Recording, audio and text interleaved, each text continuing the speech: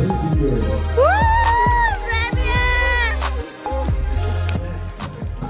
trying, man.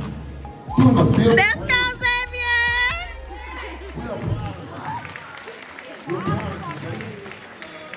Good job. Let's go, Kyrie.